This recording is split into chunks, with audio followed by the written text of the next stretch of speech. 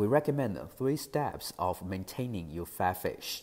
Special design anchor is for retrieving task. Pulling P3 only at the anchor end of the tensor. Do not pull the hook between the plug and anchor. Make sure the remote controller in a safe and dry place. Wipe out the water on the surface of the tensor, then unscrew the drone plug.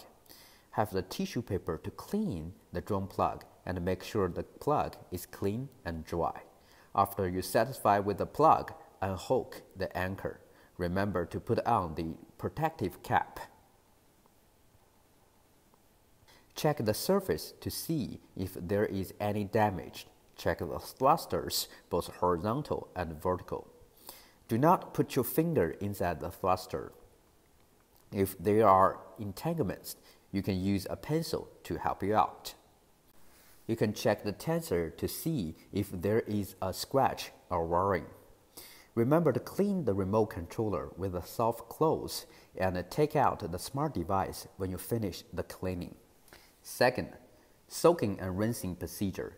You need to immerse the drone into the fresh water in case there is sand trapped inside the drone. You can soak the P3 and shake it hardly to let the sand drip out. Repeat this procedure until the water dripping out is clean and clear. After you satisfy with the sand cleaning, we recommend one hour soaking. Submerge the drone, drone plug, tensor anchor in the fresh water.